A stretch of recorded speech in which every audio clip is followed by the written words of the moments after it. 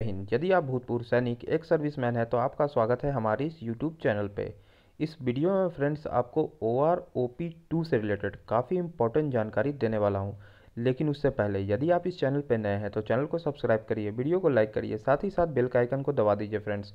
साथ ही में फ्रेंड्स, आपको वीडियो के डिस्क्रिप्शन में व्हाट्सएप ग्रुप का लिंक मिल जाएगा, उसे जाके आप ज्वाइन कर लीजिए।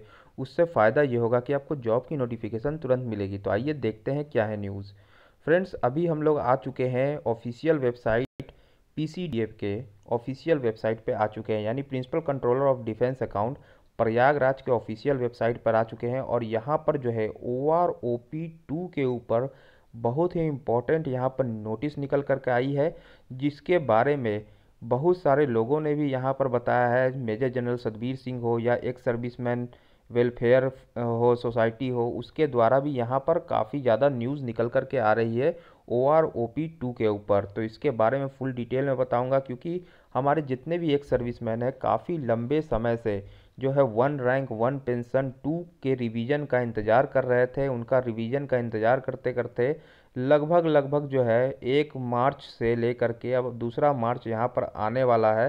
इतना लंबा समय बीत चुका है, लेकिन O R O P two का अभी तक कोई पता नहीं चल पाया है फ्रेंड्स तो उसी पर यहाँ पर एक इंपॉर्टेंट न्यूज़ निकल कर के आई है लेटेस्ट अपडेट निकल कर के आई है कि जो वन रैंक वन पेंशन का जो पैसा है, हमें जो है केंद्र सरकार कब तक देगी? तो आपको बता दूँ फ्रेंड्स कि सरकार ने जो है लगभग लगभग जो है नौ महीने का एक्स्ट्रा टाइम मांग लिया है। सरकार ने तीन तीन महीने करके एक्स्ट्रा टाइम मांगती गई सरकार सुप्रीम कोर्ट से और इस प्रकार जो है, अब लास्ट डेट जो इसका बचा हुआ है, वो 15 दिसंबर 2022 बचा हुआ है। जी हाँ 15 दिसंबर 2022 से पहले पहले केंद्र सरकार को किसी भी हालत में वन रैंक वन पेंशन का पैसा जो है, हमारे जितने भी एक सर्विसमैन जो 2019 से जो है, इसका इंतज़ार कर रहे थे कि वन रैंक वन पेंशन का पैसा हमें जल्द से जल्द मिले उसकी जो है अपडेट पूरी होने वाली है फ्रेंड्स। लगभग लगभग एक महीना ही बचा है केंद्र सरकार के पास अब समय और वो इस समय के अंदर ही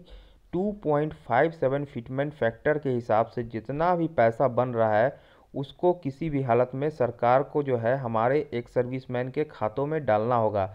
यदि सरकार 15 दिसंबर से पहले या 15 दिसंबर तक जो हमारा पेमेंट अगर रिलीज़ नहीं करती है तो इसके बाद जो है कोर्ट ऑफ़ कंटेम्प्ट लग जाएगा और सरकार की बहुत ही बड़ी फजीहत हो जाएगी और किसी भी हालत में सरकार को फिर पैसा देना ही होगा एक हफ्तों के अंदर अंदर। तो फ़िलहाल फ्रेंड्स, वीडियो में इतना ही था। यदि कोई और इन्फॉर्मेशन निकल कर के आती है, वन रैंक, वन पेंशन से रिलेटेड तो सबसे पहले आपको हमारे इस चैनल पे मिल जाएगी फ्रेंड्स। वीडियो देखने के लिए धन्यवाद फ्रेंड्स।